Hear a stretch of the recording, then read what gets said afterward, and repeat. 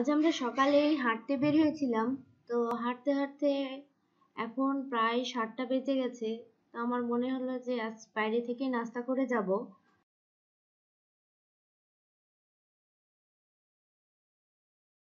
তাই আমরা চলে এসেছি বেলি ফুলের সামনে। বেলি ফুলের যে পরোটাটা সকালে বানায়, সেটা আমার খুব ভালো লাগে।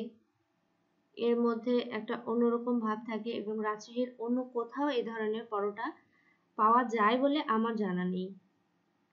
তো তো ভাবলাম যে আপনাদের সাথে একটু শেয়ার করি বিষয়টা। দেখুন এরা কীভাবে বানাচ্ছে পরোটাটা। এরা এখনই বানানো শুরু করেছে, এখন প্রায় সাতটা, দশ বাজে। এটা সাড়ে সাতটা হতে হতে নাস্তাটা রেডি হয়ে যায় সবার জন্য। আর এটা সকালেই এই পরোটাটা সকালেই হয়। সকাল সাড়ে সাতটা থেকে দশটা এগারোটা পর্যন্ত এখানে এই পরোটাটা পাওয়া যায়। তারপরে আর পাওয়া যায় না, আবার পরের দিন সকালে শুরু হয়। এই আটটা, নয়টা বাজতে বাজতে এখানে প্রচুর ভিড় হয় এবং তখন বসার জায়গার জন্য ওয়েট করতে হয়।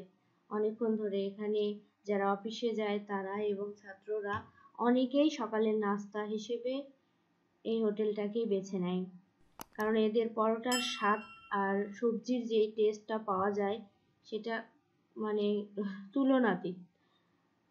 বলা মানে অন্য কোথাও এই স্বাদটা আপনারা পাবেন না, রাজশাহীর অন্য কোথাও। এখানে খরচও খুব একটা বেশি না, আপনি দুইটা পরোটা এক বাটি সবজি নিলে আপনার ছাব্বিশ টাকা মতো খরচ হবে।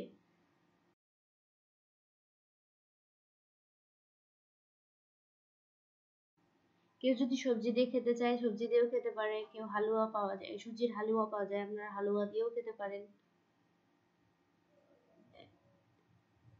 কেউ যদি তেল ছাড়া পরোটা খেতে চায়, তেল ছাড়াও কিন্তু এখানে বানিয়ে দেয় এরা।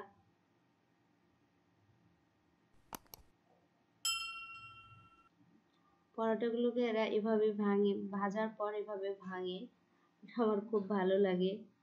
এই যে এখানে হালুয়া রাখা আছে। কেউ যদি সুজির হালুয়া, সুজির হালুয়ার টেস্টটাও খুব সুন্দর। খুব সুন্দর। আমাদের দুইটা করে পরোটা দিয়েছে, দুইজনকে দুইটা দুইটা, চারটা। আমরা এক বাটি সবজি আর এক বাটি হালুয়া নিয়েছি।